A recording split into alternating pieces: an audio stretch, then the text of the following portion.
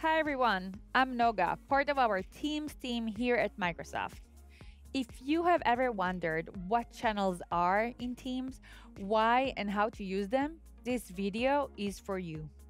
Channels are the workspaces you create to bring people together. You can use your channels to solve open issues, share files, answer urgent customer questions, and get work done together in teams. Let's take a look together as I use channels to catch up with my sales team. When I open at the channel, the channel name and all the different tabs are right at the top. The Post tab is highlighted so I see the newest conversation and updates for our team. The tab next to Posts is Files.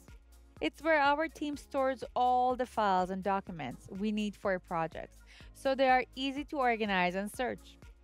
When a file is uploaded in the channel, even if it's part of a post, it's automatically added to the Files tab for everyone to use. I can choose New to create a new file or upload to share one from my computer. Say, I have a great idea for a sales pitch and I want to share that with the whole group in the meeting. I can quickly set up a channel meeting that all members of the channels can join with just one click by selecting Meet and Meet Now to connect instantly to everyone in the channel.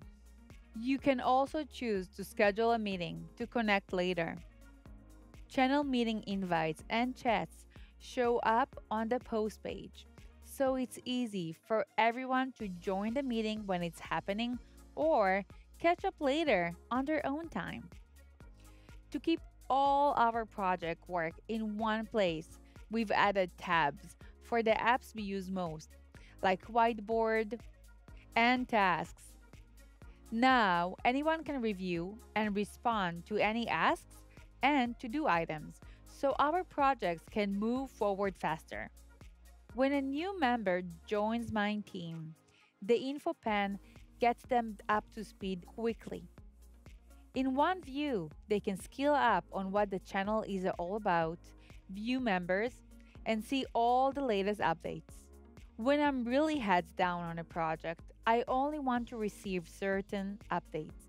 I go to the channel notifications and turn them off for a while or customize them to stay focused until my work is done. Channels makes it easy to connect, collaborate and establish workflows that help your team work better together. Try using channels with your work group for more tips, how to's, and inspiration for all you can do together in team, subscribe today.